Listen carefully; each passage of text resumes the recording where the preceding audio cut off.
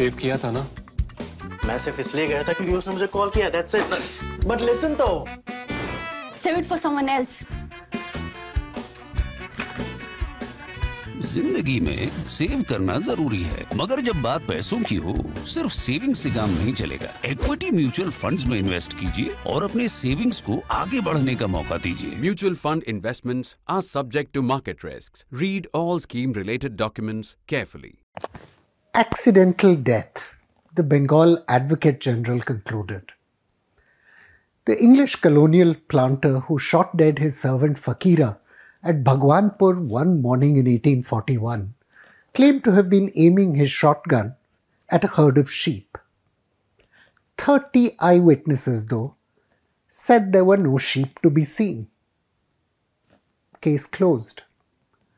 The unsatisfactory manner in which this case was disposed of, the East India Company's Court of Directors observed, affords an additional instance of the urgent want of tribunals for the trials of British born subjects in the Mufassil. Earlier this month, the central government proposed replacements for the Indian Penal Code of 1860 and the Code of Criminal Procedure passed the next year among the first three laws ever enacted by the colonial government and a consequence of the chaos the Fakira case pointed to. The proposed decolonization of Indian law, though, is somewhat less dramatic than advertised, careful analysis shows. Even though the new codes include several welcome measures to modernize the criminal justice system, the legal reforms do not address the darkest colonial shadow over the law enforcement system in India, and that's the police. Like Fakira, millions of Indians remain victims of a criminal justice system founded on inequality. Even though legal reforms after independence removed racial bias and promised equality under the penal codes, justice has remained out of reach for swathes of the population, like women, Dalits, the poor, religious minorities. You can go on and on. Long, complex discussions lie ahead as the new criminal laws make their way to a standing committee of parliament and then to a vote. Law enforcement officials have sought many of the changes proposed in these reforms for years.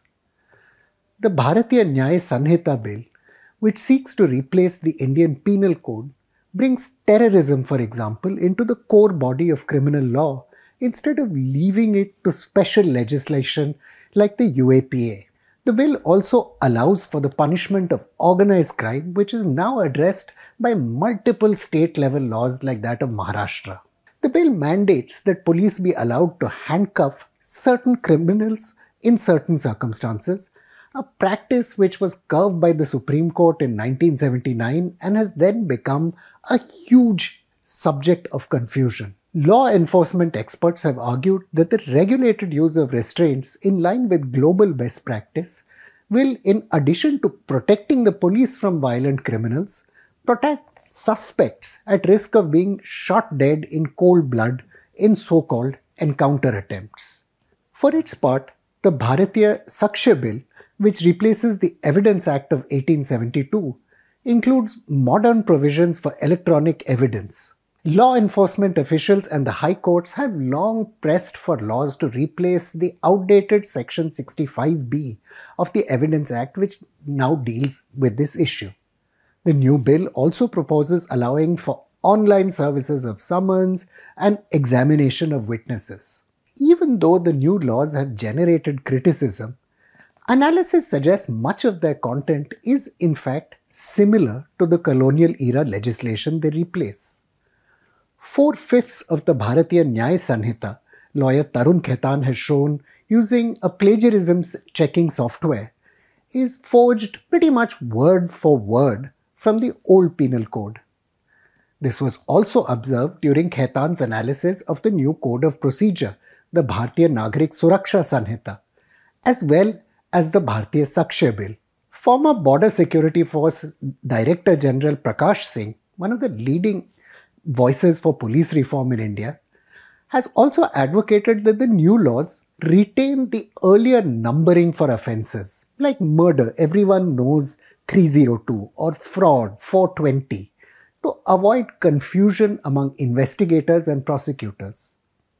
Many experts also worry that this apparently unnecessary renumbering process will set back decades long work on India's searchable online criminal database, the Crime and Criminal Tracking Network System.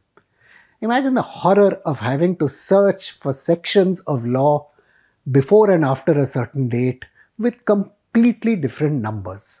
Legal reform, most important, isn't the same thing as criminal justice reform.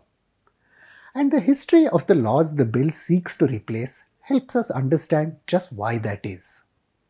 Early in the 19th century, the East India Company governed Indians and English residents through different sets of laws. King's courts, as they were called in the presidencies, used English judges and English lawyers to administer English law. Far from the company's coastal centers of power, though, its courts administered a complex maze of traditional Hindu and Muslim customary law. Even as late as 1789, Islamic criminal law, including the mutilation and amputation of criminals, was being followed in some parts of Bengal. Governor General Warren Hastings had in 1773 set aside a distinct space for religious personal laws. But it became pretty clear that the secular sphere of criminal law needed some kind of uniform regulation even if personal laws didn't.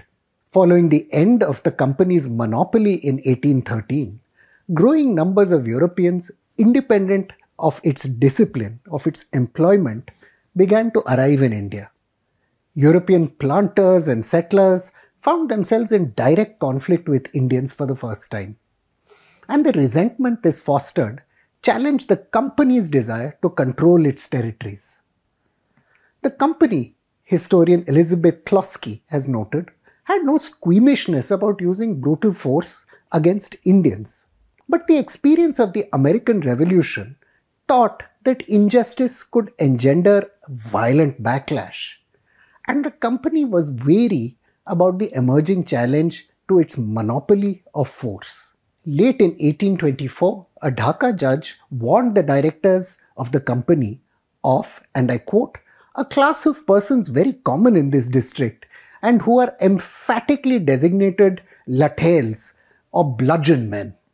He wrote that gangs funded by European indigo planters were using violence, and again I quote, to enforce payment of outstanding balances from the ryots and secure and hold in lien their crops, but not infrequently to lay hold of and carry off the produce of neighboring cultivators. Thomas Babington Macaulay, who of course you'll have heard of, set sail for India in 1833, charged with what he described as the, I'll quote again, momentous task of codifying the law of India, creating in great and entire work symmetrical in all its parts and spirit. Well, that's not exactly what happened. Europeans, in fact, retained many of their privileges. The Criminal Procedure Code of 1861, for example, gave special privileges to European born British subjects, like the right to be tried by a white majority jury and a British judge. The principle of racial inequality deepened in 1872 when Indian magistrates were expressly barred from trying European born British. The nationalist movement scholar Mrinalini Sinha has recorded was born from struggles to end white impunity. The growing racism of late Victorian society provoked anger among Indians. The case of the English manager of the Rangmati tea estate who evaded prosecution for rape in 1888 by pleading guilty to adultery was one of many which illustrated the absurdity of racialized justice. There were sharp battles too, historian Judith Whitehead has written, over perceived encroachments of criminal law into Hindu tradition, like the 1891 amendment of the Indian Penal Code to raise the age of consent for girls from 10 to 12. Even as late as 1923, when the Criminal Procedure Code and other laws were amended to remove racial discrimination in trials, English liberalism proved unable to deliver on the full promise of equality. The government's efforts to decolonize Indian criminal justice will not account for much unless it addresses the machine that enforced those laws during colonial rule. The Police Act of 1861 made Indian law enforcement dangerously subservient to the political executive, and no government has tried seriously to address this problem. Even though 17 states have passed new police acts to replace the colonial legislation, not one has fully met Supreme Court benchmarks for insulating appointments and tenure from political interference. And of course, if appointments and tenure aren't impartial, no force can be. Even before colonial authorities created a new legal framework for criminal justice, the rudiments of an imperial police force to implement it were already being built, and some of it will sound strangely familiar even today. From 1793, under Governor General Charles Cornwallis, the East India Company started seizing responsibility for law and order from zamindars and handed it to police stations. The new police station chiefs or darogas, the civil servant John Beames observed, served the empire by being close to the people and their own interests by being even closer to criminals. They ruled their territories like little kings, Beames recorded. Their misdeeds were legion and always went unpunished. English law in India, not surprisingly, had little to say about police accountability. The new penal codes don't either. Following the rebellion of 1857, historian Erin Giuliani has written, imperial administrators were convinced of the need for more effective policing, but they didn't want to pay the bill. There were just 532 enrolled police officers for all of Bhagalpur in 1862, she found. Each one was responsible on an average for a staggering 3,740 people. The paucity of personnel and training meant that violence was the main tool for solving crime, recovering stolen goods, and suppressing dissent. An investigation of the company's police system in the Madras presidency, conducted in 1885, reported that, I quote, corruption and bribery reign paramount through the whole establishment. Violence, torture, and cruelty are their chief instruments for detecting crime. Even today, little has changed. Figures published by the Bureau of Police Research and Development show that Indian police forces are on average about 20% short of the number of personnel governments themselves say are necessary. Bihar has just 76 personnel for every 1 lakh people. It's actually worse than the colonial era. And Uttar Pradesh has 133 instead of the required 183. The use of modern investigative technology as well as training standards remains poor. There are no consistent standards, public policy expert Sonal Marwa has written, and most training facilities lack basic amenities and sufficient instructors. Forget fighting terrorists, most rank and file police officers won't have an opportunity to even engage in basic firearms, tactics, and training for most of their career.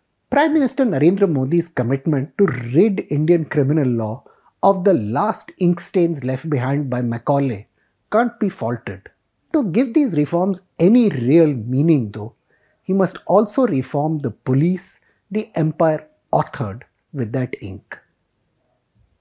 I'm Praveen Swami and I'm National Security Editor of The Print. Thank you again for watching Security Code.